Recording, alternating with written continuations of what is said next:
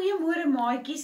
Ek het nou net opgestaan en my verskriklik mooi aangetrek want ek en Gerard gaan winkels toe vandag. Maar nou hoor ek daar buite is 'n virus.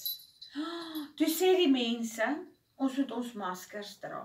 Ek het my masker op. Ek geen virus gaan nou by my kom nie.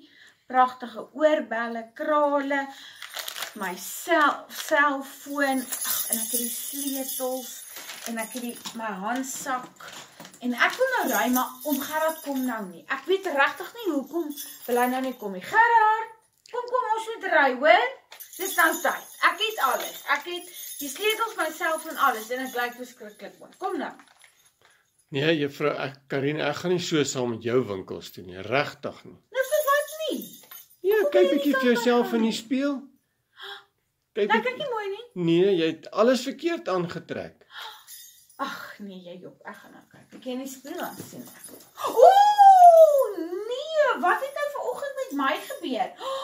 Kyk, waar sit my masker? En hierdie, o, oh, jene, dis mos nou nie oorbelle nie. En ek ag nee. My oog, my selfoon. Nee man, dis ook nie my handsak nie. En kyk jou skoene. Ag, vader tog 'n pantoffel en 'n skoen. Ek het gewonder hoekom loop ek bietjie snaaks. Dit was nou regtig o oh nee. Nee, oom gaan dit toe maar hoor.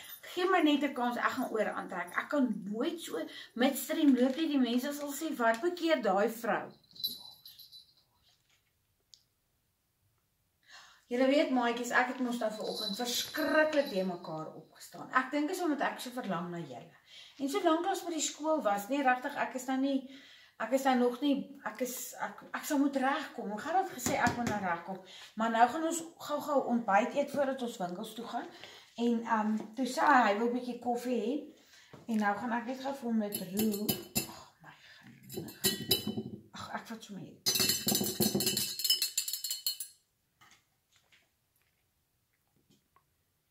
Ag, dis nou nogal lekker, hè? Lekker, lekker koffie. En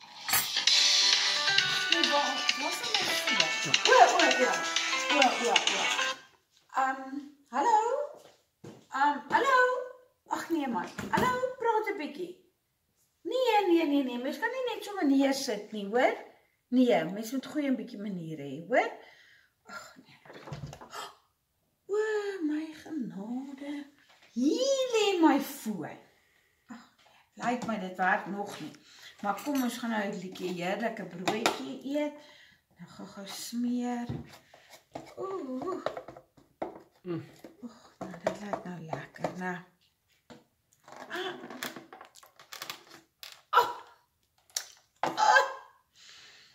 Ag nee man, dis dan koekie in 'n in 'n boksie. Ag nee. Joeg, ek is bietjie die mekaar, maar weet julle wie was ook nog verskriklik die mekaar? Nee, ek is nou nie konsert. Tannie Leonie het vir ons mooi prentjies geteken en mamma moet kyk dis in jou sak. Maar ek het nou so baie die mekaar goed gedoen, maar Tannie Leonie het die snaakste die mekaarste prentjies geteken. Jy mamma moet bietjie gaan sit dan kyk jy na daai prentjies en dan kyk jy of jy kan sien wat ook verkeerd is in daai prentjie. Maar ek gaan nou regtig koffie drink en ek dink dan gaan ek beter voel en dan sal ek weer saam met julle iets doen. Jammer Teddy beere hoor.